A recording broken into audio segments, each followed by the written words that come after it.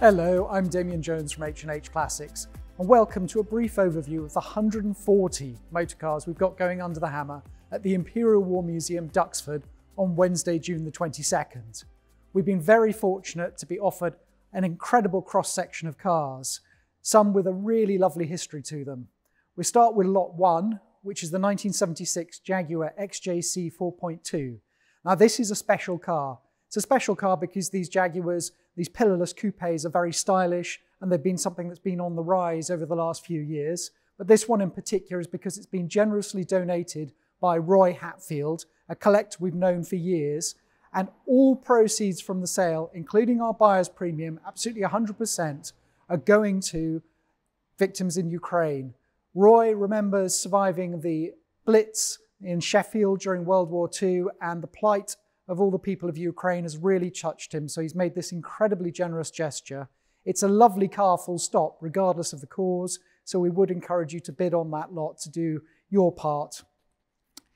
The cover car for the auction is a 1969 Ferrari 365 GT that's been rebodied in the style of one of the Maranello Marque's 1950s pontoon fender sports racers. Now, we know the seller. Uh, he's had a lot of Ferraris over the years. I hope he won't mind me saying he is a, he's a fussy so-and-so. So this car will have been built to a very high specification and beautifully detailed. Hopefully that comes across in the photos and the video, but by all means, come down and have a look at it. It really is a gorgeous, gorgeous thing. And a genuine 250 uh, Testarossa. I, some of the early cars, you know, have been trading for well into the 30 millions euros. So this is a fraction of that money, but roaring past you on the road, uh, you know, with those 12 cylinders on song, you'd be pushed to tell the difference. We've got uh, another sort of very glamorous open car, but different era, a 1975 Jensen Interceptor convertible. Now that's one of the 505 or 514 depending on which source you believe, uh, built. It's a car that has been restored to a high standard again. It's finished in gunmetal grey with red leather, so it's a very striking machine. Left-hand drive, so great for touring on the continent.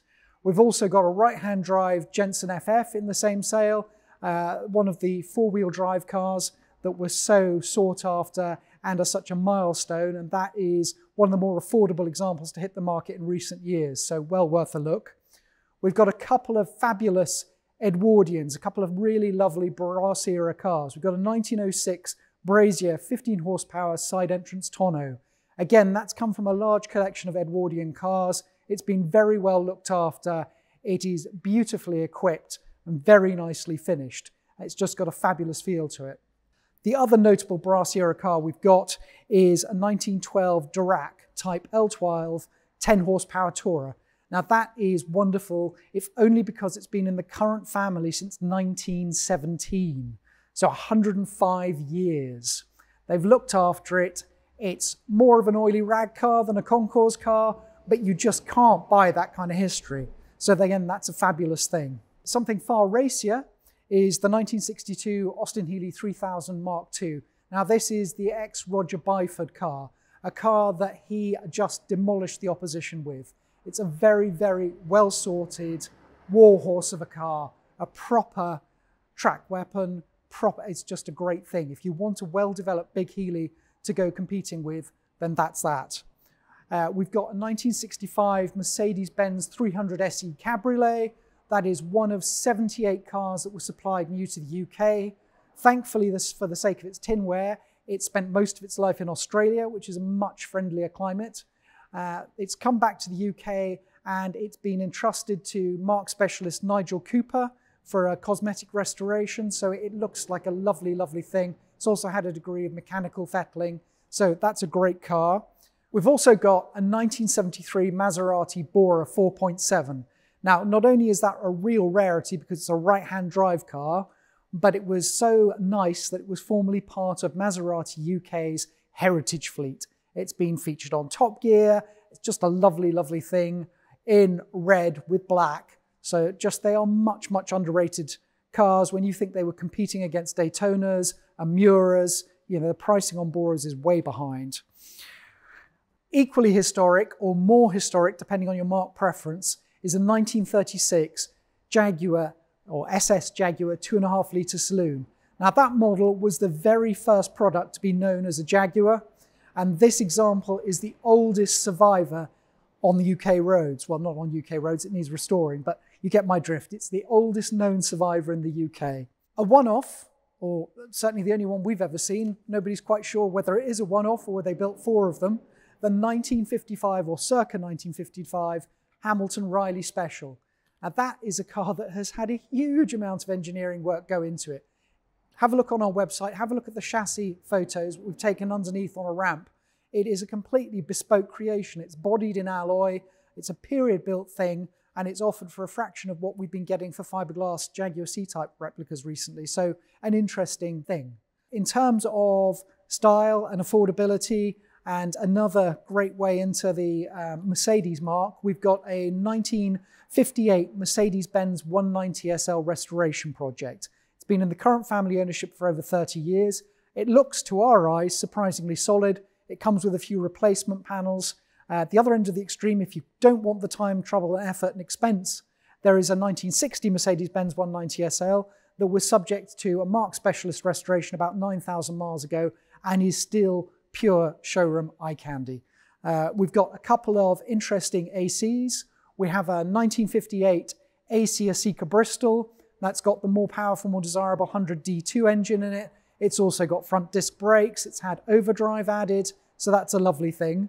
And for those who prefer open top, we've got a 1962 AC Ace 2.6.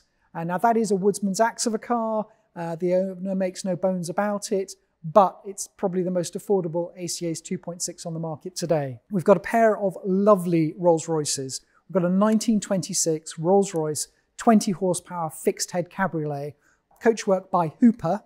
That is a car, it's had an incredible life, that car. Uh, you know, first owned by a music publishing uh, magnate, then owned by a prince, then spent many, many years in Kenya, then brought back by Colin Crabb, who was arguably the ultimate classic car hunter, certainly for the Exotica. Uh, and it's been in the current family ownership since 1971. And during that time, for most of those 51 years, has been used for a family Boxing Day picnic, come rain, come uh, hail, come whatever. So it's just got a lovely, lovely feel to it. The other huge impact Rolls-Royce, the 1928 Rolls-Royce Phantom 1 Lonsdale limousine. Now that's a Springfield built car, but everything about it just screams imposing. Huge drum headlights, beautifully proportioned coachwork, a lovely, lovely thing. We've got the 1960 Jaguar XK 150S 3.8 drop head. Now, for many people, the 3.8 S litre cars are absolutely the epitome of a 150, the ultimate development. This is uh, one of 69 ever made. Uh, it's been in the current ownership for all two decades now. Uh, wonderfully, a, a long-term client of ours, Tom King, actually bought the car from its second owner in 1984 and once he saw the auction listing for it, thought I, I might still have the original Buff logbook for that car and some more paperwork. And he's forwarded that through to us. So the history file on that, which was already large, has got even bigger. Uh, really, really lovely thing. Restored a number of years ago, well looked after ever since. And uh, for, as I say, for many, the Ultimate XK. For many, one of the Ultimate E-types would be an early car. And we have a 1962 3.8 Roadster, so roughly 10 months into production. It's a left-hand drive car, but it retains an awful lot of its correct early features. So it's got the different chrome strip to the tops of the doors. Uh, it's got bigger drive shafts. It's got um, the special vents to the top of the dash and, and, all sorts of things that were phased out through production shortly thereafter. We also have uh, sort of left field, uh, one of the more famous neoclassics, an Excalibur. It's a 1965 car, so it's a Series 1 Excalibur. And it's made all the more special that it was supplied new to acting legend Tony Curtis. Now, he didn't have it for very long and it then spent many, many years in a museum. Uh, hence, it's believed to be a very low mileage example. But in terms of Hollywood glam and glitz, uh, that's it. So, as I say, there are 140 cars. We will be on public view at Duxford on Tuesday, the 21st, from 12 until 6. So, you're welcome to come along and see us then. Doors will open on sale day, Wednesday the 22nd, from 9 o'clock onwards, and the auction will start at 1 pm. It is a live physical sale, so you will be able to bid in the room, but you can, of course, also bid via our website, hnh.co.uk, or via the telephone. So we would welcome any pre-sale inquiries. If you've got any more questions, please just contact us on 01925 210 035 or info at h&h.co.uk. Otherwise, we very much hope to see you at Duxford. Thank you.